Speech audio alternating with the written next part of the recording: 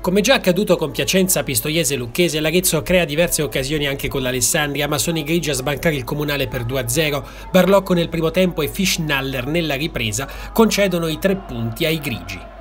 Una partita caratterizzata dai pali, clamorosi quelli di Moscardelli e Cutolo sullo 0-1.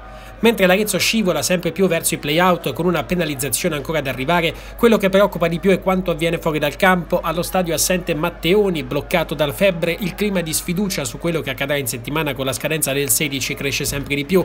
Nel frattempo, però, prende quota lo scenario di una possibile cessione dell'Arezzo ad altri imprenditori. Gira il nome di Fabrizio Lucchesi come possibile artefice di questa operazione, della quale farebbe parte anche un imprenditore ora foretino. Lucchesi, ex direttore generale del Pisa, era stato di recente accostato anche al Vicenza. Mi fa piacere che il mio nome venga accostato all'Arezzo, ci ha detto Lucchesi al telefono, ma è una notizia priva di fondamento. Ogni giorno mi accostano a qualche squadra diversa. Conosco Matteoni, ma il fatto di parlarci non significa nulla al momento. Diciamo che forse qualcosa accadrà. Una situazione quella Maranto di grande incertezza della quale la squadra risente inevitabilmente.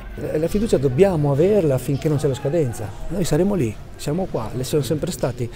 Eh, ci sono tante cose che, che, andrebbero fatte diversamente, questo lo sappiamo tutti, eh, però finché non arriva la scadenza eh, noi dobbiamo avere fiducia. È più preoccupato per il campo o per quello che succede fuori? No, son, è chiaro che è, una, è, un cane un po' che si morde la coda, sono tutte situazioni che vanno a incidere alla lunga, è normale.